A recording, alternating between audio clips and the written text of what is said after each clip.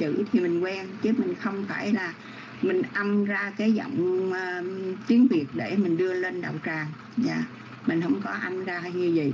Mà mình chỉ âm để mà mình ví dụ mình viết cái hàng Bali ở trên thì ở dưới mình chú thích à, chữ này đọc là à, đoạn âm là sú hoặc ná là gì đó đại khái vậy. Thì để cho mình nhìn vào cái chữ bản Bali ở trên và mình nhìn cái hàng chú thích ở dưới thì mình sẽ biết đọc bài. Và à, mình từ từ thì mình quen được rồi thì khi mà mình nhìn vô cái bản Bali thì mình biết đọc. Chứ không phải là mình phải âm ra, mình âm ra là mình sai. Tại vì à, thật sự mình ăn không bao giờ đúng được hết. Đó là chỉ cái mẹo thôi. Nha nhung phạm nha. Dạ nhung phạm có thể mình cấu học thì mình viết cái Bali ở trên và ở dưới mình chú thích như vậy đó, thì sau này mình sẽ đọc được. Dạ dạ con thành kính lãnh lễ à, thường tọa minh hạnh một lần nữa ạ. À. dạ bây giờ thì như pháp xin được ôn bài trước. Và cảm ơn cô Rạng Đông cho Như Pháp biết được bài học. Như Pháp sẽ đọc à, ba lần à, để à, Nhung hạm có thể coi theo nha. Như Pháp đọc cũng chưa có đúng lắm đâu nhưng mà tạm mình tạm đọc được. Nhìn vô ba, nhân bản Bali thì mình đọc được. Còn nói đúng thì thật sự Như Pháp chưa có bao giờ tự tin là mình đọc đúng. Bởi khi mà Như Pháp còn ở trong cái rôn Phật giáo Nam truyền lúc nào như pháp cũng là để được trả bài. Để mong có sai thì ngài chỉ dạy, để mình có thể, ngài chỉ đức chỉ dạy cho mình, để mình sửa hoài sửa hoài. Chứ còn Bali mà nếu mà đọc cho đúng Dung Phạm biết không? Những vị học Bali mà có thể làm thầy dạy mình được là học phải 10 năm. Dạ 10 năm. Còn mình bây giờ công ăn chuyện làm, đủ thứ hết chuyện hết mà mình ngồi đó thì mình nói mình đọc đúng thì không bao giờ đúng đâu Dung Phạm nhưng mình tạm thời. Dạ mình tạm thời. Mình có thể đọc vô văn bản được thôi. Dạ. Dạ con xin được ơn bài. Hirimata Chadut Trì Hoàng Nhít chi ga Quê Sina Ali Nê Nắp Ba gấp Tê nắp Sút Thà Chi Quê Nắp Bát cha Hirimata trì Hoàng Niết Chẳng si na Sina Ali Nê Nắp Ba gấp về Na Suốt Hà Chi Quê Nắp Bát ta. Hirimata Chadutti Hoàng Niết Chẳng si na Sina, Ali nề Nắp Ba gấp về Na Suốt thà Chi về Nắp Bát Sata khó thai, sống xấu hổ thường thường cầu thanh tịnh, sống vô tư kim thống trong sạch và sáng suốt. Và đây là bản chuyển ngữ của ngài hòa thượng minh châu thì rỉ ma ta chà đùa chi quăng. Nghe trăng xuôi chi gà quệ si na. À lý nên nắp và gặp phê na. Suốt tha chi quê na bạt sa ta. Thì rỉ ma ta và đuột chi, quăng nít trăng sư chi. Gà quệ si na à lý nên nắp bà gặp thế na sửa tha chi quê. Là bát sa ta khó thai biết hổ thẹn rồi. Lại cầu thanh tịnh mà nói hướng về vô tư kim hạ lìa mê trăng sao sao sáng đầy huề hai vai. Và đây là bản khổ thơ của ngài hòa thượng giới đức. Còn thành kính đảnh lễ tri ân chư tôn đức như pháp, kính cảm ơn đạo tràng. Bây giờ thì dung phạm đưa bàn tay được chưa? Alo, dung phạm có thể đưa bàn tay được chưa? Dạ rồi mời dung phạm nha.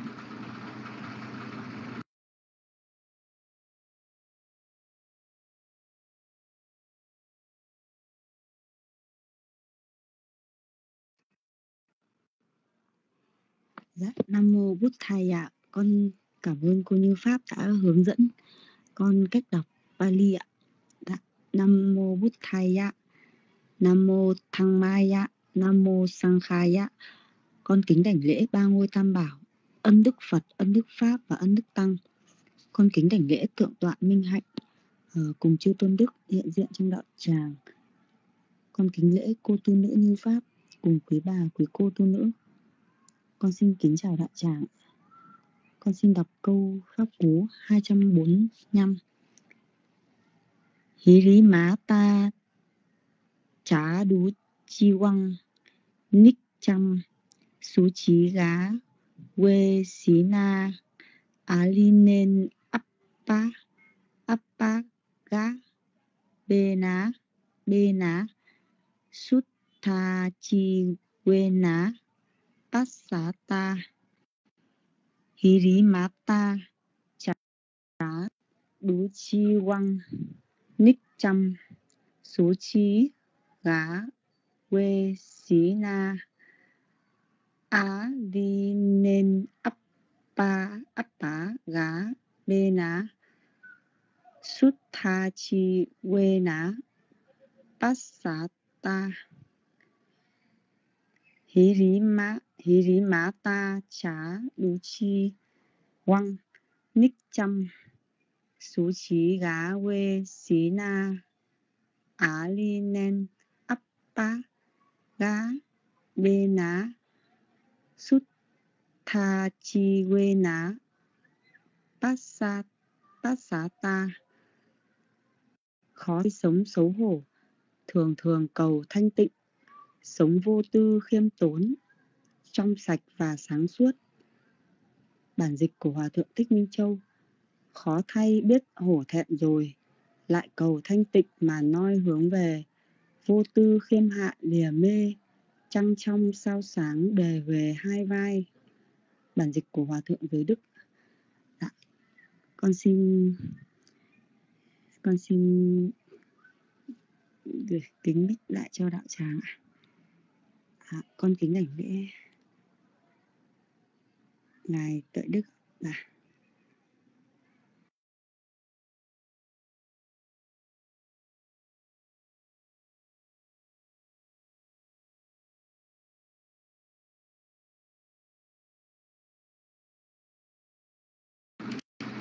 dạ. Sa thủ sa thủ, kính cảm ơn dung Phạm. Nam mô Bích Tha giá. Dạ con thành kính nịnh lễ đại đức trời đức, cùng chư tâm đức vừa quan năm vào đạo tràng. Như Pháp kính lễ quý bà quý cô phụ nữ. Như Pháp kính chào đạo tràng. Dạ kính chào người phương Nam về giao đạo tràng. Dạ con kính mạch là đại đức trời đức. Dạ cảm ơn cô Quang Nguyệt cô Đặng Đông. Dạ hôm nay là ngày giảng của Thượng tọa uh, Tuệ Quyền. Mà thường thì Thượng tọa vào rất là trễ phải trễ hơn 10 phút.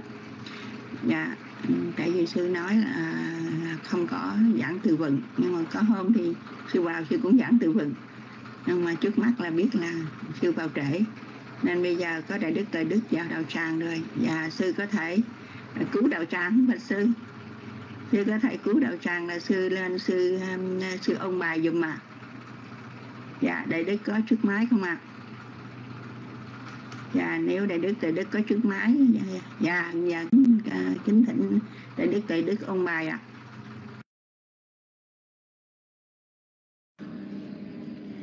Nam mô Bích Tha Giá, Nam mô Tham Ma Giá, Nam mô Sang Kha Giá. Con thành kính đảnh lễ ân đức Tam Bảo, ân đức Phật, ân đức Pháp, ân đức Tăng. Con thành kính đảnh lễ thượng tọa Minh Hạnh cùng chư tôn đức tăng đang diện trong đạo tràng. Kính chào quý bà quý cô tu nữ, mến chào toàn thể đạo tràng. Con xin được ôn bài Kinh Pháp Cú câu số 245. Hirimata chất đút chi quăng nít chăng suchi ga quê sina Aline, Aline,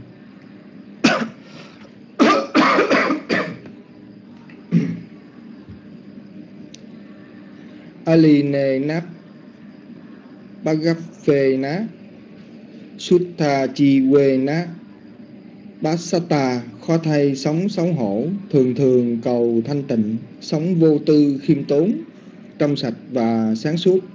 Là bản dịch của Ngài Hòa Thượng Thích Minh Châu.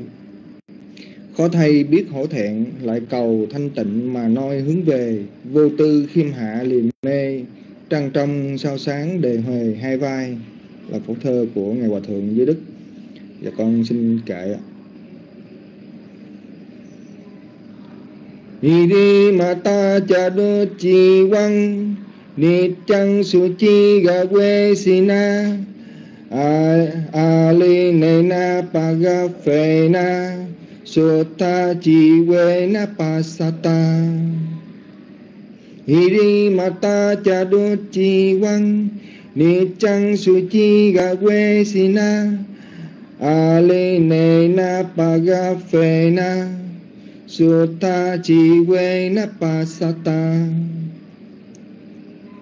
Hiri mata cha jiwang chi suci gawe chăng su chi ga sina ali ne na bhagavaina Sutta chi quê na pasata Con xin hết ạ. Con tính nhường mít lại cho đầu tràng ạ.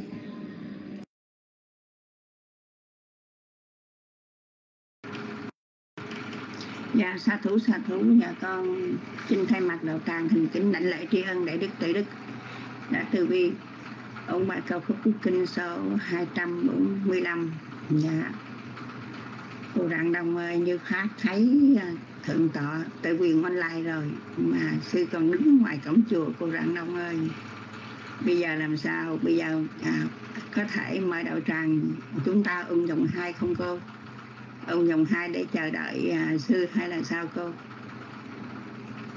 Cô rạng đông cho ý kiến hay là cô rạng đông đẩy băng rồi khi nào thượng tọa vào thì mình mình thỉnh pháp sư à dạ rồi mời cô rạng đông nha.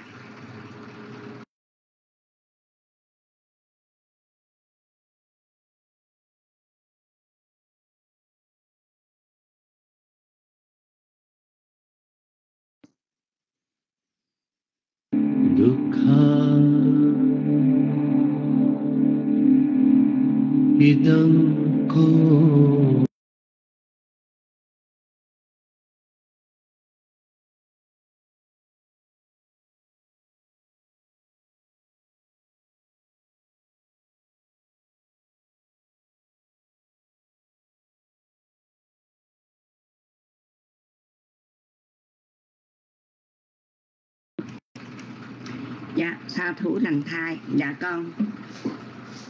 Đôi nữ như pháp thần kính lãnh lễ thượng tọa tề quyền vừa quan năm vào đạo tràng.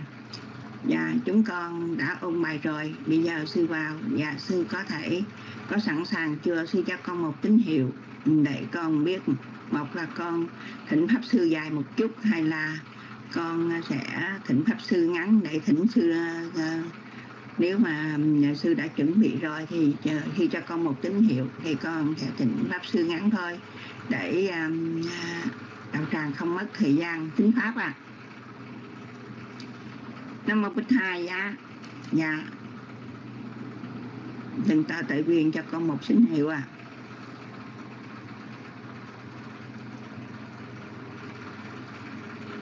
dạ dạ rõ vậy là sư sẵn sàng rồi hả bà sư? Thì con có thể à, thỉnh pháp sư ngắn dạ. Trước mắt thì con một lần nữa thành kính lãnh lễ tri ân đại đức tuệ đức. Đã ôn bài pháp cú kinh số 245 đáp kính cảm ơn cô Sàng Đông, cô Nhung Phạm, cô Xuân Mai, cô Cẩm Vân, cô Trần Đạo. À, cô Pháp Nguồn Lào Cai đã hoan hỷ ôn bài. Dạ bây giờ thì con xin được à, mời đạo tràng cùng dễ như pháp cung thịnh pháp sư. Trước khi đạo tràng chúng ta được thượng tọa tề quyền giảng dạy bài học ngày hôm nay, ca Pháp Quốc kinh 246 nam mô bích hà giá, nam mô tham ma giá, nam mô Sang kha giá. Nam mô ta sa bhagavato arahato samma Sa nam mô ta sa bhagavato arahato samma sambuddhassa nam mô ta sa bhagavato arahato. Samma sambuddhassa hàng thiện tính mãi mê trần cảnh na nghiệp bướng bề nặng gánh lo toan. Ít khi tâm trí rảnh rang à, não phiền kết buộc sân tham còn nhiều nghe tranh pháp như người được ngọc nghe pháp nhiều chư phật gợi khen. Phước sanh trí tuệ vô biên đường đi sáng tỏ nhân duyên rõ ràng. Thịnh pháp sư đăng đàn thuyết giáo a, vị nơi đây tâm đạo tinh thành. Ngưỡng mong tranh pháp thịnh hành a, ngưỡng cầu thâm nhập đạo lành như lai và đạo tràng chúng con đang trang nghiêm thanh tịnh. Con xin thay mặt đạo tràng thành kính lệnh lệ cung thỉnh thượng tọa tệ quyền, từ bi thuyết giảng bài học ngày hôm nay, cao khắp của kinh sổ 246 như pháp kính chúc đạo tràng một buổi học pháp được an vui tiến hóa. Và cảm ơn cô sẵn đông cho bài học. Và con kính nhân mít đến sư ạ. à.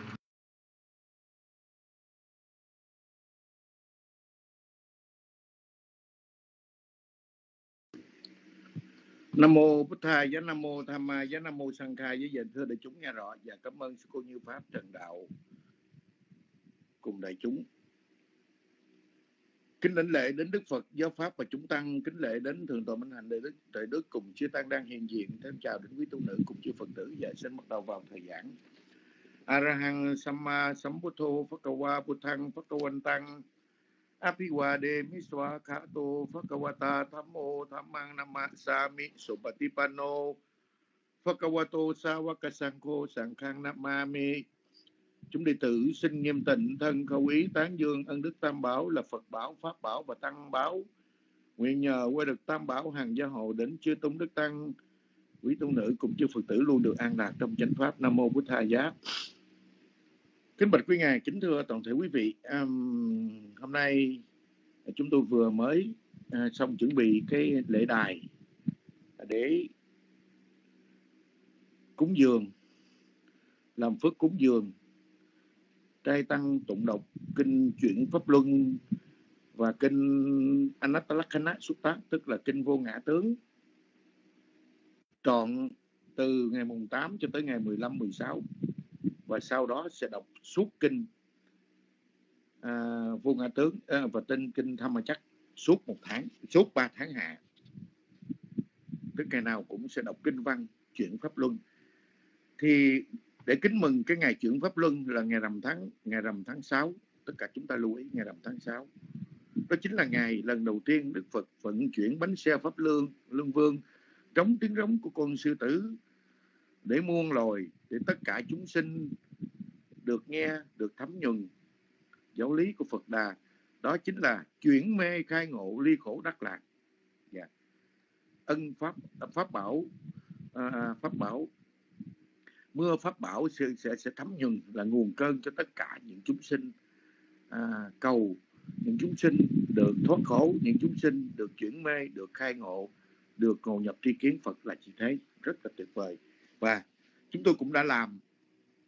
Hình như năm nay là năm thứ tư, thứ năm gì rồi. Mở chủ của quan hỷ vậy đó. Dạ thì cho nên chúng tôi cũng vẫn giữ như vậy. Dạ thì ờ, cứ suốt một tuần lễ và tay tăng cúng dường, làm phước. Và buổi sáng đọc kinh văn, chư tăng cùng với phật tử. Ai rảnh, giờ nào cứ tới giờ đó. Và buổi chiều, buổi tối cũng vậy, đọc kinh văn.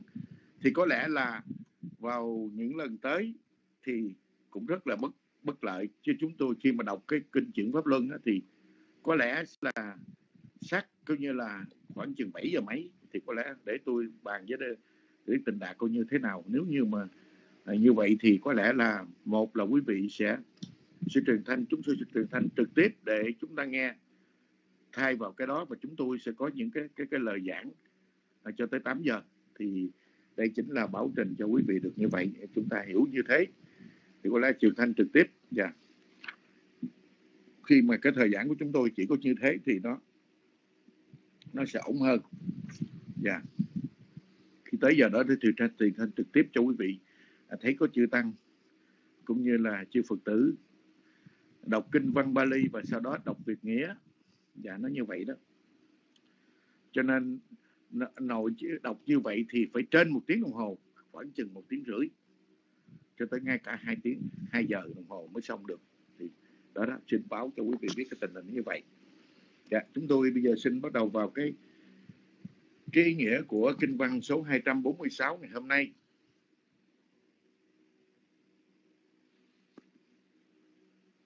Cô post lại cái câu cái, cái cú đầu tiên.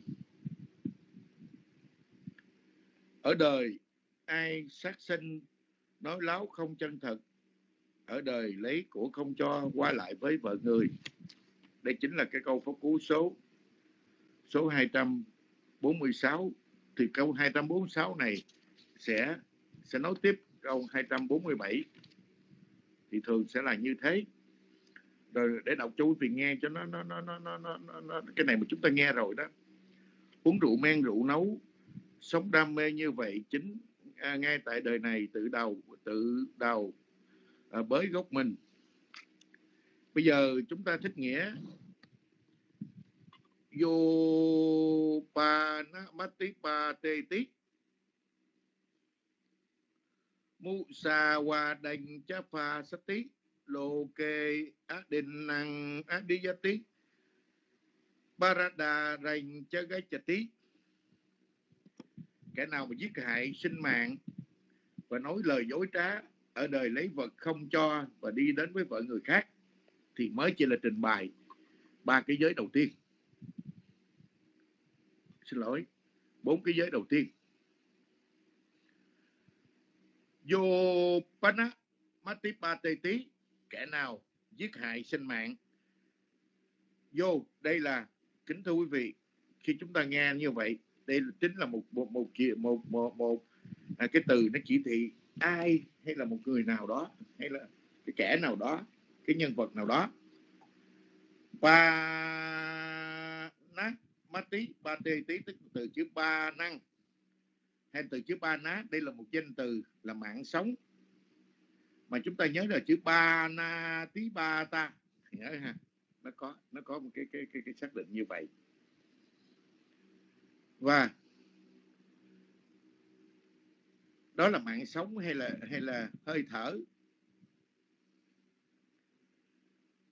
Atipa tê tí từ cái chữ, tiếp đầu ngữ, ati cộng với bata bát cộng với e cộng với ý. Có nghĩa rằng, tức là ở đó nói rằng giết hại, hay sát hại, hay là quỷ hại tức là giết chết. Đó.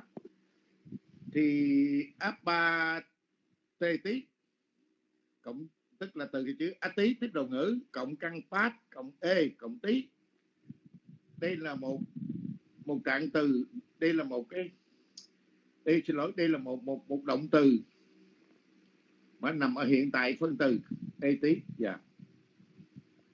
Tiếp đầu ngữ, a tí quy như là trên đó hay là quá còn cái chữ bá tá có nghĩa là nó rơi, nó ngã hay là nó nó mất, nó chết đi.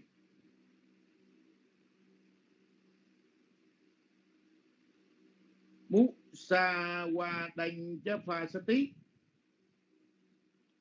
Có nghĩa rằng, và lời nói dối từ cái chữ mú sa qua đăng mú sa qua đăng. Là mú sa cộng với qua đá mú sa là lời dối trá mà qua đá có nghĩa là lời nói mà muốn xa là một cái sự dối trá, tức là lời nói dối trá hay là lời dối trá, lời không thật.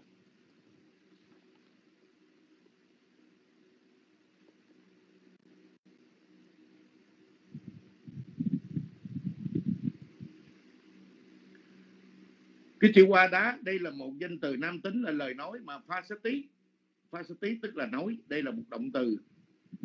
Anh thuộc về tha động từ hay là tha động từ mà nằm trong hiện à, trong à, trong động từ thì hiện tại tức là a tí tức là pha sát cộng với á cộng với a tí thành pha sát tí và cái căn pha phát căn phát.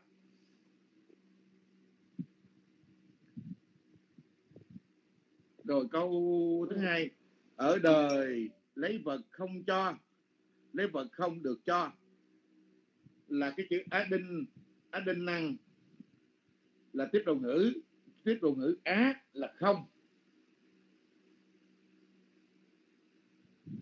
Còn cái chữ lô cá là thế gian, danh từ nam tính. Ở đây chúng ta được cái tiếp đầu ngữ á cộng với đinh ná đã được cho.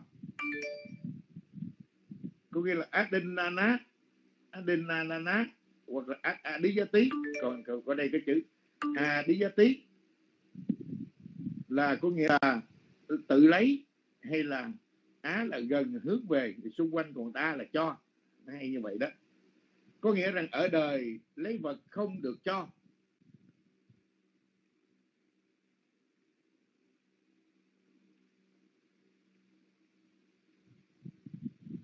Ở đời là thế gian. Cái chữ adiyati, đây là một động từ là lấy a mà hướng về đây có nghĩa là à, nó, nó, nó, đây là cái nghĩa là đây là một tiếp đầu ngữ thôi. Dạ còn chữ đa căn đa là cho. A cộng với căn đa. Cái câu cuối cùng. Baradarain Chagachati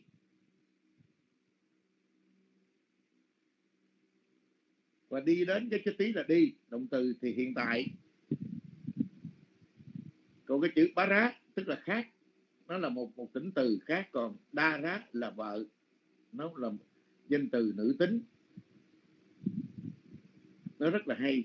Qua lại để đi đến với vợ của người khác, đó chính là cái ý nghĩa của pháp cú kinh số số số số số số ba ba à, hai trăm bốn mươi sáu thật sự ra thì nếu mà nói tới đó xong mà dừng lại thì nó sẽ khó có cái lý để giải. Chúng ta nhớ như vậy.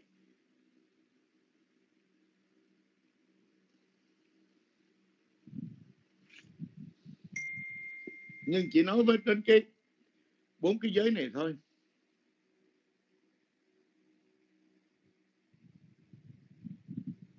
Thì chúng ta thấy nó là một sự nguy hiểm. Nó, nó xin lỗi. Nó là một cái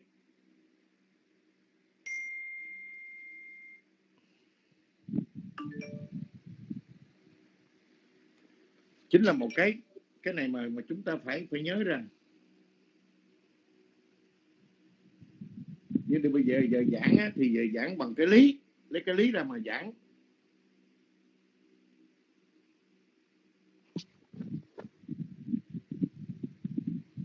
Ở đời á cái năm giới này là đi đến trời người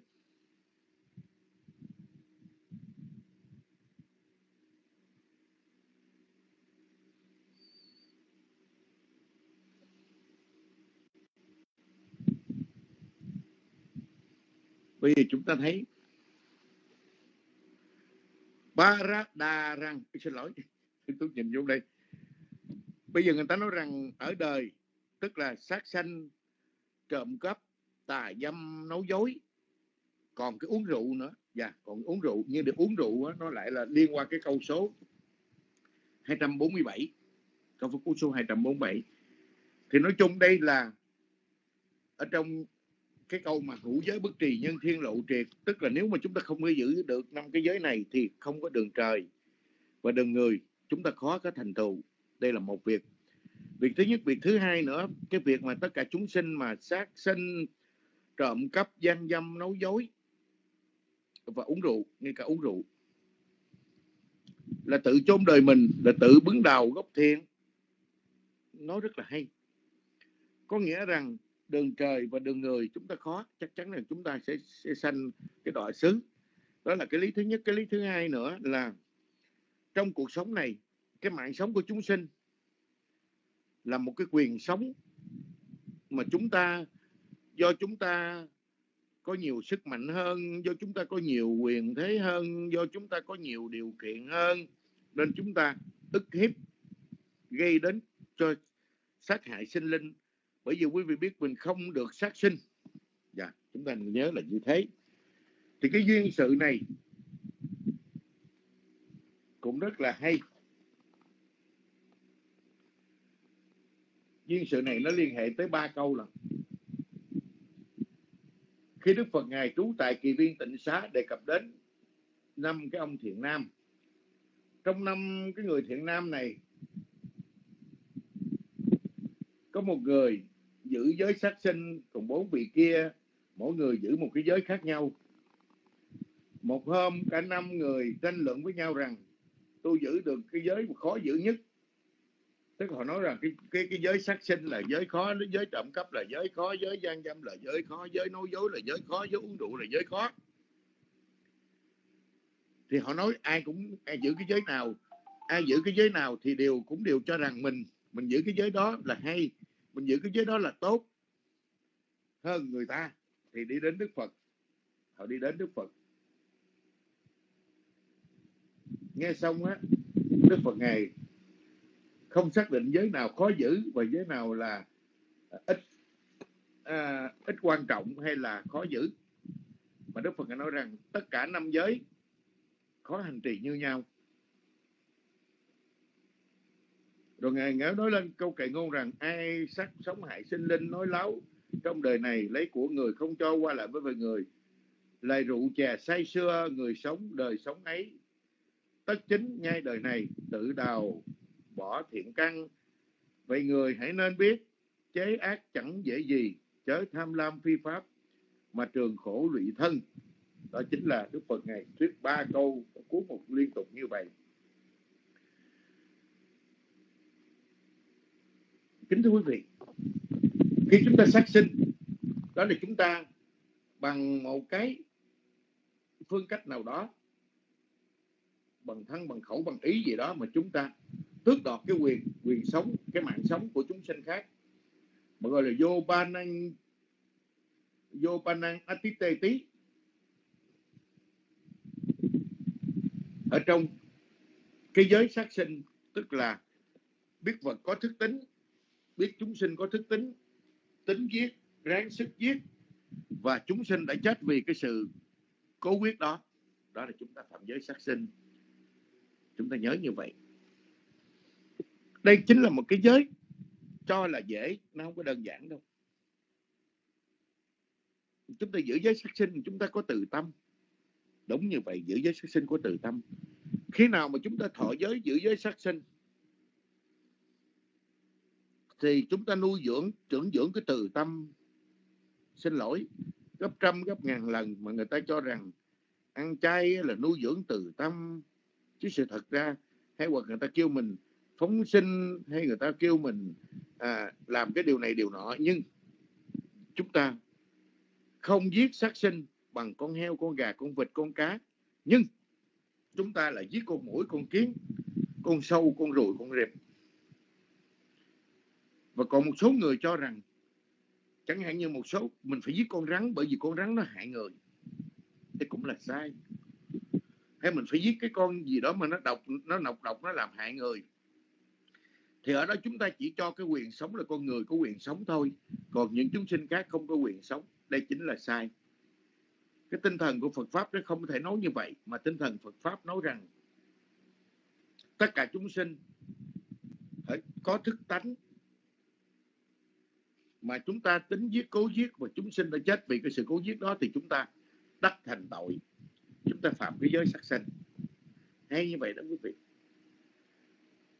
Quý vị biết nhiều khi con mũi nó cắn mình nó ngứa.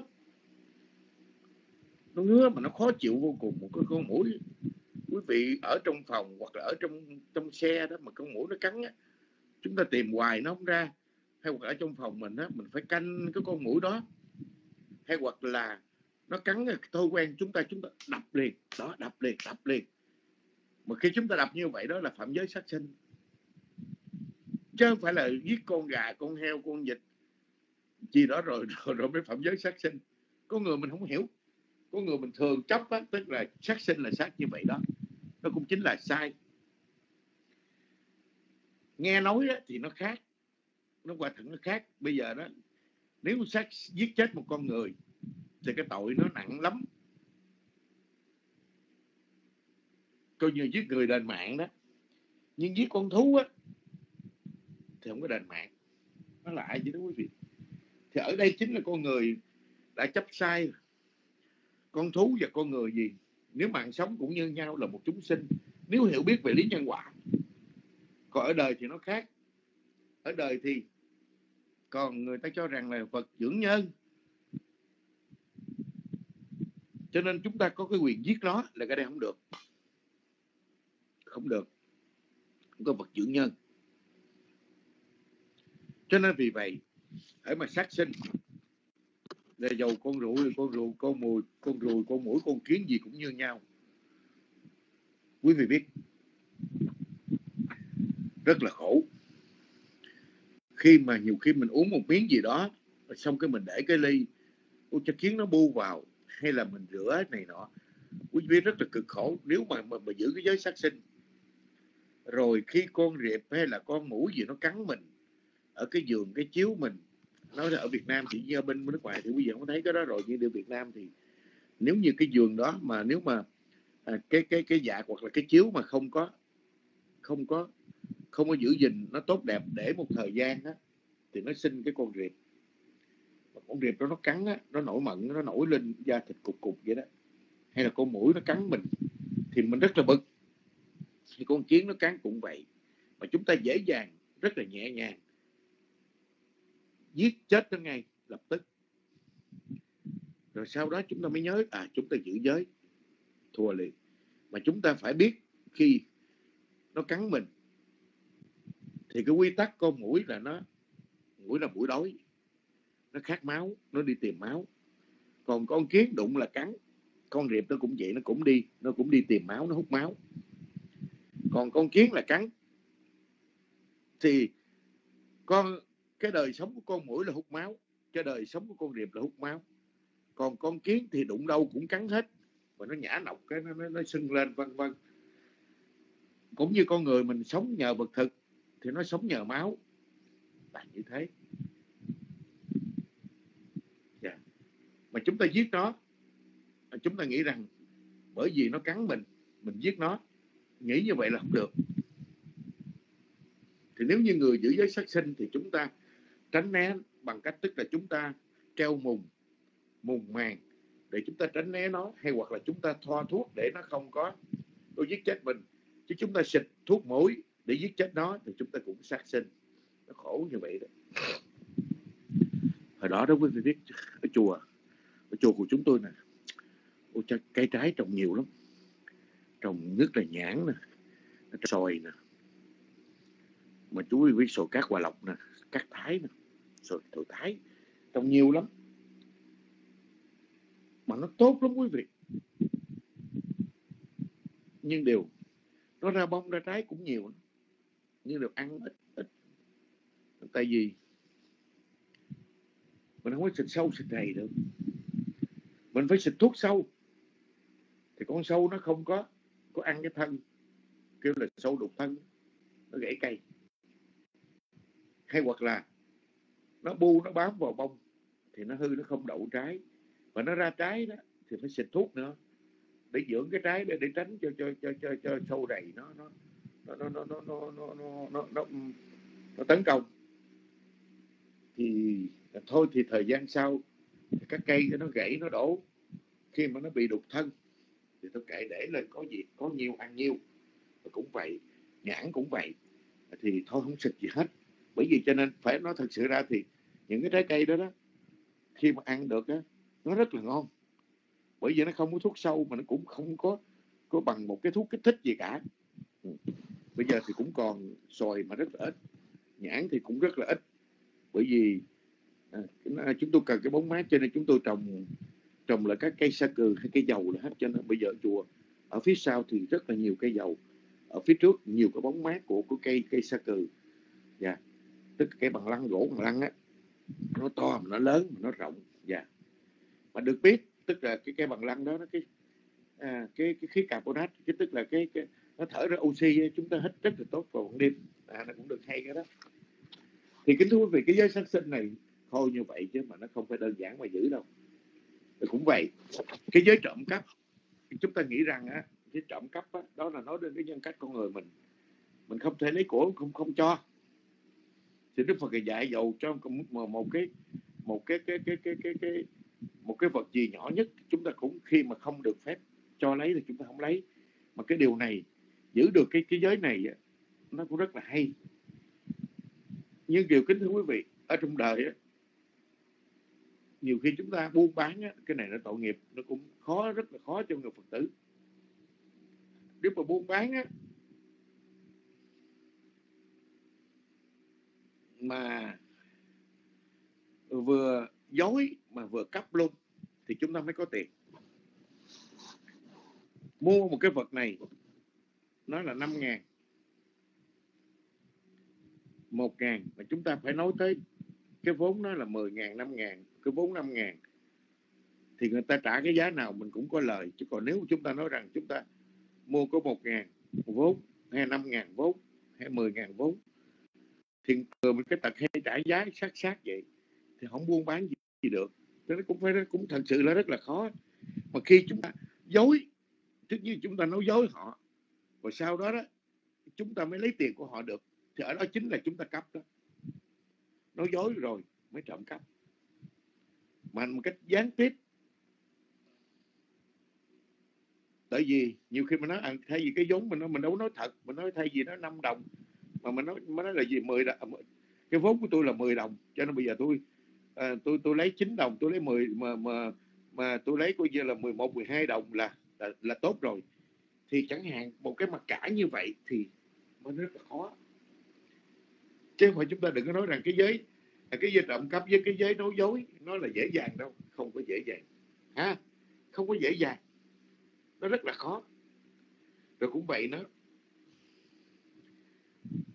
nếu như cái lòng tham chúng ta khởi lên khi thấy của cô người, nó lớn lao, thì không nói. Thí dụ bây giờ, quý vị biết nếu như ở đó, nguyên cọc tiền, để trước mặt,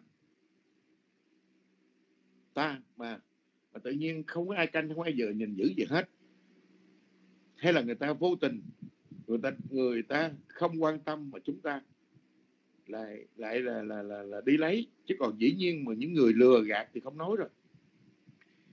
Thì không phải là đơn giản. Rồi cái người ta để một cái cái cái cái gì? Một cái hộp sòn một cái cà rá hoặc là một cái một lượng vàng một chỉ vàng gì đó. Thì kính thưa quý vị tâm của chúng ta phải thực sự là ly tham tâm chúng ta thật sự là tâm tu. Mình là con người ngay thẳng, không có lấy của người. Mà cái điều này cũng rất là hay.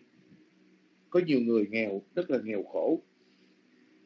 Đi lụm tiền đi lụm lụm rác, hay là đi lụm cái trước kia là đi lụm vé chai đó. Hay là người ta bán vé số. Nhưng có những người chỉ cần lụm được cái của rơi của người, mà trong vô tình họ làm rơi. Họ cũng đem trả, họ đem đến trình báo đến đến chính quyền, đến công an, đến cảnh sát, để cho những, bắt đầu để đăng báo lên hay để thông báo cho cái người mất của thì tới tay nhận. Những người đó có những cái tánh ly tham, có những cái tánh, tức là không tham của người đây là cái tánh rất tốt, chứ không phải là không có. Cũng có những người, còn rất là nhiều người đi đến đi đến cái chỗ đông người rồi trộm cắp của người ta ví trộm cắp ừ, ờ, bóp trộm cắp điện thoại di động mà bây giờ quý vị biết không phải là ở ngoài đường đâu. Họ đã len lỏi vào ngay trong chùa. Những cái lễ hội họ vào cái bắt đầu họ cũng giả bộ như là một người phật tử vậy. Cái bắt đầu ngồi đó họ bắt đầu họ, họ đánh cắp bóp tiền hay là đánh cắp điện thoại di động. Mà họ tổ chức cả cả một số người đến để ly để đi. Rồi quý vị biết thí dụ như họ lên họ cũng cúng cũng dân, bỏ vào cái bao thơ, mà toàn là bao thơ không không mà đến nó cũng cúng cũng dân, mà chúng ta thấy, họ tưởng là mấy người này chắc mấy người đi chùa, họ cũng mang coi như là miếng gạo, miếng muối, miếng đường gì đó đến, rồi xong. Để để làm gì? Họ tỏ ra một người, là một người phật tử. Và cuối cùng họ trộn lộn vào cái chỗ mà mà mà mà mà mà mà mà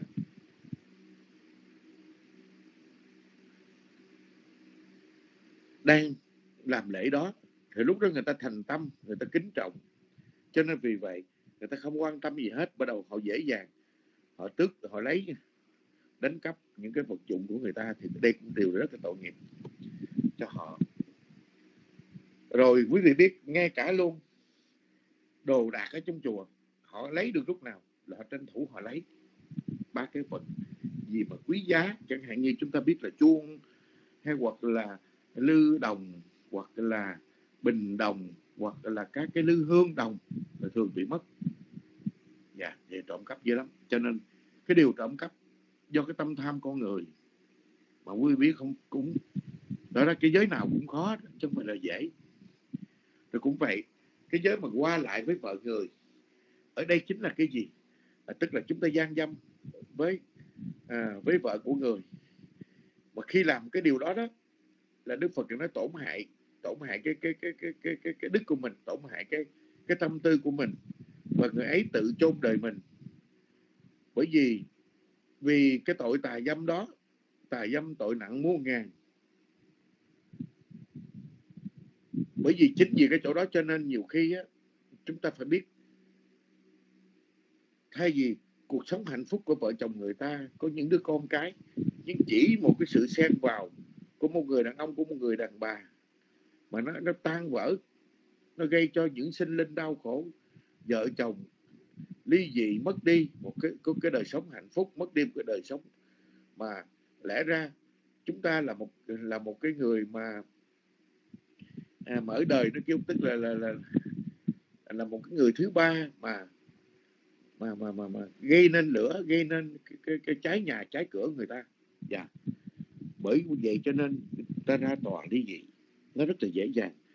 Cuộc sống này á, thì ở không phải riêng ở nước ngoài nó tự do đâu mà ở trong bây giờ tất cả chúng sinh thường nó rơi vào tình huống như vậy.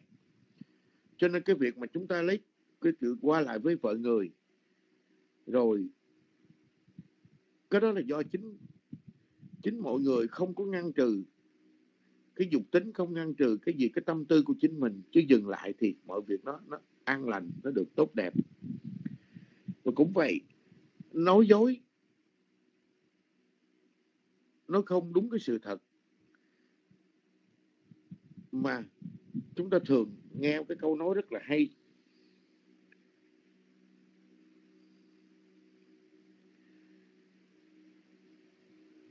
Nói dối cái tật nó quen cái miệng. Nó quen cái miệng nói dối rồi ngủ ngày nó quen mắt quen ngủ rồi quen ngủ tức là ngủ trễ ngủ khuya. Rồi chúng ta ngủ ngày ngày đó nó gật gù gật gù. Nói dối quen miệng ngủ ngày nó quen mắt.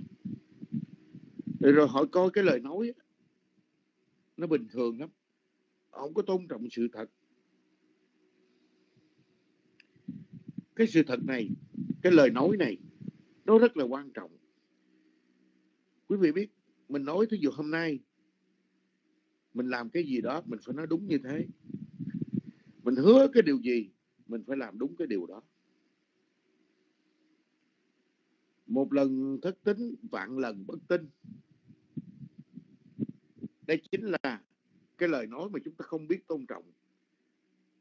Thì quý vị biết người đó không bao giờ giác ngộ được. Người đó không bao giờ nhận chân ra cái lý chân được bởi vì giữa cái cái sự thật, cái lời chân thật và lời dối lừa nó cách nhau như trời biển vậy đó. Bởi vì người mà nói dối đó, người đó cũng không tôn trọng sự thật. Người đó không hiểu biết được chân lý thì mãi mãi người đó không thể nào mà soi xét và người nào không có thể nhìn thấy, không có thể giác ngộ được chân lý. Từ cái lời nói họ không biết giữ giữ gìn cho mình cái lời nói. Tức là sao? Tức cái lời nói đó đó, mình không biết tự trọng mình. Mình không biết tôn trọng cái giá trị của mình. Thì mình cũng chả có biết tôn trọng cái lời nói của mình. Hứa cái điều đó, hứa cho nhiều mà thất hứa cũng thật là nhiều. Đây là người đó không có cái danh dự, không có không có được tôn trọng, không có uy tín người khác để người khác phải luôn luôn phải có cái gây một cái sự khó chịu với chính mình. Thì đây cái điều hết sức là nguy hiểm. Và chúng tôi thường chúng tôi thường nói cho cho cho cho các vị rằng á nhiều khi mình xem nói á mình nghe nghĩ cái chuyện nói dối nó là bình thường nhưng nó đều rất là nguy hiểm. Ngày xưa đức phật ngày à, ngày xá lợi phất cũng như đức phật nhiều lần ngày dạy cho ngày à, ngày ra hồ la đó rau lá ta khuyên hãy nhớ các ngôn giả dối nên chừa. Này rau lá cái lời nói dầu cho, nếu đó là không thật, mà cái lời nói là nói chơi cũng không nên nói. Nói chơi, nói đùa thì cũng không nên không nên nói. Người biết tôn trọng sự thật, biết tôn trọng giá trị chân lý thì người đó không bao giờ nói dối. Ta nhớ như vậy, người đó không bao giờ nói dối, nhưng người mà nói dối thì người đó lướt qua lướt qua cái cái giá trị chân lý, lướt qua cái giá trị thật, hoặc là che giấu cái sự thật. Mà dối, khi mà chúng ta dối thì trước nhất là chúng ta, cái tâm của chúng ta đã đã không đúng, lời nói không đúng, nói cho người là càng không đúng nữa. Đưa đến những cái điều gì? Đưa đến những cái điều mà hết sức là nguy hiểm. Đó chính là đưa đến cho người ta những cái sự phân kỳ phân ly. Lời nói không mất tiền mua lựa lời mà nói cho vừa lòng nhau. Chứ chúng ta đừng có nói những, ngay cả những cái lời nói mà ác khấu những cái lời nói khó nghe những cái lời nói vô ích chúng ta cũng không nên nói nữa kìa. Lời nói nhảm nhí chúng ta cũng không nên nói. Một người tu dẫu cho là các bậc xuất gia hay là các hàng cư sĩ tại gia đều là không có nói nói nói dư thừa. Hay nói đều vô ích, nói đều vô bổ. Mình không có đủ thời gian, mình không đủ cái điều à, cái thời gian đâu mà để để nói như vậy, để làm như vậy. Thì nếu một người mà biết tu thì mọi việc nó nó rất là đặc biệt. Họ quý cái thời gian đó. Khi mà đàm luận, một là để có thời gian học hành còn hai nữa, thời gian tu tập tu tập pháp học hay là thực hành pháp hành. Chứ còn không phải mà cái thời gian rảnh rỗi rồi buông đùa bằng cái tâm phóng vật nói những cái điều linh tinh, những cái điều không tốt đẹp. Đây là cái điều mà chúng ta biết rất là nguy hiểm. Và như thế thì chúng ta không tự không tự tạo cho mình một cái sự thật mình sống chẳng có vui. Chẳng qua khi mình vui khi mình nói chuyện mình xạo sự dối lừa xảo trá đó mình cho nghĩ rằng mình nghĩ rằng người ta không biết à. Nhưng điều có những người không biết thật nhưng khi họ biết á, thì con người chúng ta không còn cái uy tín không có cái danh dự nữa.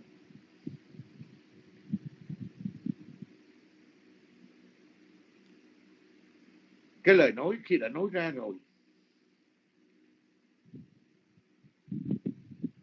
thì nó như nó như chúng ta gọi là chữ đinh đóng cột.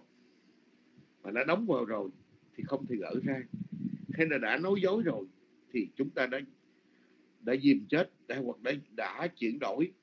Hay đã không còn tôn trọng sự thật thì đây chính là chúng ta tự tự giết chết của cuộc đời mình.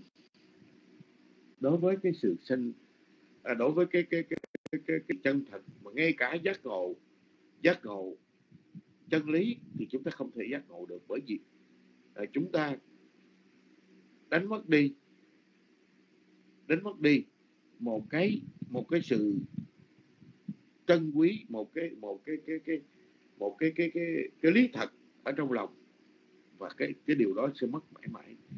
Bởi vì cho nên quý vị biết cái lời nói dối đó hết sức là nguy hiểm. Thì chúng ta thấy cái cái giới nào nó cũng quan trọng hết thế giới nào nó cũng quan trọng hết trơn. Ở đây, tam nghiệp của chúng ta, tam nghiệp ác, thì thân sát sinh, trộm cắp, tà dâm, khẩu nói dối nói hay lửa nói đâm thọc, nói độc ác, ý chúng ta tham ác, sân ác, tà kiến ác, thì đây là những con đường dẫn tới đau khổ, dẫn tới sinh tử triền miên. Từ đời này qua đời nọ, tại sao chúng ta bị như thế? Là chính chúng ta không có sống chúng ta không có biết cái giữ cái giới. Thì dầu cho giới trọng, giới khinh ờ, giới hoặc là năm giới, gọi là một cái điều căn bản của người phật tử, mà suốt cuộc đời phải gìn giữ. Một người đệ tử phật dầu cho tăng hay tục cũng phải biết trân quý một cái năm giới này hết sức là quan trọng. Đối với các hàng xuất gia thì nó nhiều cái giới hơn. Quý vị thì chỉ có ngũ giới bát giới hay thập giới đối với người phật tử. Đặc biệt tức là bát giới ngũ giới hay là tám giới. Còn nếu cái hàng xuất gia thì là thập giới hay là sa di giới tỳ kheo giới. Nó là nhiều giới hơn. Nó nhiều cái sự thọ trì hơn nhiều cái cái điều kiện mà tu tập để giữ gìn giới. Và những cái điều này kính thưa quý vị khi chúng ta không làm á, thì những ác pháp chưa sanh nó sẽ không sanh. Những ác pháp đã sanh thì có thể chúng ta đoạn diệt nó. Và nếu như chúng ta không và nếu chúng ta biết tu tập á, thì chúng ta quân tập. Những thiện pháp chưa sanh nó sẽ nó sẽ được bảo trì gìn giữ tốt đẹp. Và những thiện pháp chưa chưa sanh khởi thì sẽ làm cho nó sanh khởi đối với những thiện pháp. Cũng như từ thân khẩu ý sanh khởi lên cái thiện, cái ác, chúng ta biết kiểm soát chúng ta biết đông đo chắc đếm. Thì kính thưa quý vị, hết sức là đặc biệt, hết sức là yên ổn. Còn nếu như chúng ta không có lo, chúng ta gìn giữ, thì cái điều này tự mình hại chính mình rất là nhiều điều ở trong cuộc đời này. Cho nên vì vậy, phải nói rằng, nếu chúng ta tin hiểu Phật pháp, chúng ta mới thấy rằng ở trong cuộc đời này mình cần phải có một cái mình cần phải có một cái cái sự tu tập mang tính ổn định mang tính tốt đẹp rất là nhiều. Thì chúng ta mới mới có nhiều cái mới có nhiều cái à, à, cái mà chúng ta gọi là chúng ta có nhiều cái điều thiện sự hoặc là thiện tâm chúng ta làm. Còn ngược lại nếu chúng ta không cứ giữ gìn giới thì một trong những cái điều mà chúng ta khó có thể chứng đắc các pháp thượng nhân hay chúng ta khó có thể thành tựu được những cái chuyện lớn lao trong cuộc đời này? Hay hoặc là chúng ta khó có trở thành nhân? Bởi vì cái đời sống của tất cả chúng sinh, nếu mà biết dựa trên giới để mà đối xử với nhau, để mà sống với nhau bằng giới, thì không phải không phải phải mệt mỏi, phải canh chừng kẻ trộm, phải canh chừng coi như là cái người khác vào hại chúng ta. Nếu chúng ta biết tu thì chúng ta mang tới cho người một cái sự an tâm, một cái sự an toàn. Mà đó chính là gọi là cái vô quý thí rất là lớn. Dạ thì sát sinh trộm cướp tài dâm nói dối. Đây là cái đề bài pháp hôm nay. Ai thực hành như thế thì xem như người đó đã mất đi cái tính thiện của mình. Và người đó sẽ trả quả đau khổ ở trong địa ngục bằng sát na tu la ngạ quỷ. Hay là khi chúng ta sinh lại làm người thì chúng ta rất là khiếm khuyết chúng ta rất là bất hạnh, bất lợi. Cũng vì chúng ta vi phạm, cũng vì chúng ta đã đã tác tạo những cái ác nghiệp này.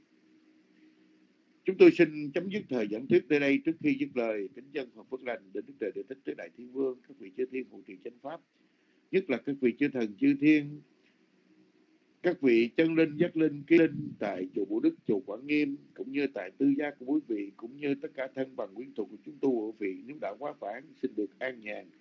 Siêu thoát những người còn hiện tiền, được an lạc, được ấn hóa trong Phật pháp. Mong cho tất cả chúng ta luôn luôn sẽ giữ gìn giới lực một cách tốt đẹp. Dạ chúng tôi xin chấm dứt thời gian tiếp nơi đây. Nam mô phật thai nam mô tham ma nam mô sanh kha giá. Ê quang.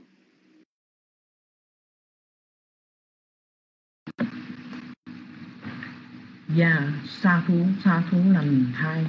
Chúng con kính tri ân Thượng Tọa Tề Quyền đã giảng bài học ngày hôm nay Cho chúng con nghe hiểu rõ để cố gắng học hành theo cho được sự lợi ích. Và chúng con kính tri ân Thượng Tọa Tề Quyền.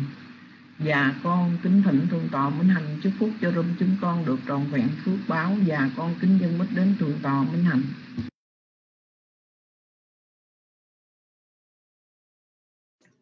Bhagavato Sammangalang Rakhanto Sapede Vata Sabbhuta Nupha Vena Sada Sati Bhavantu Te Bhagavato Sammangalang Rakhanto Sapede Vata Sabbhamma Nupha Vena Sada Sati Bhavantu Te Bhagavato Sammangalang Rakhanto Sapede Vata Sabbhamma Nupha Vena Sada Sati Bhavantu Te tất cả hạnh phúc hằng có đến người cầu xin chư thiên hộ trì đến người do nhờ quay đức của chư Phật do nhờ quay đức của giáo pháp do nhờ quay đức của chư tăng các sự thành lợi thường thường đến người cầu xin cho quả của tâm định thành tâm bảo cho được thành tựu mỹ mãn cho được thành tựu mỹ mãn cho được thành tựu mỹ mãn.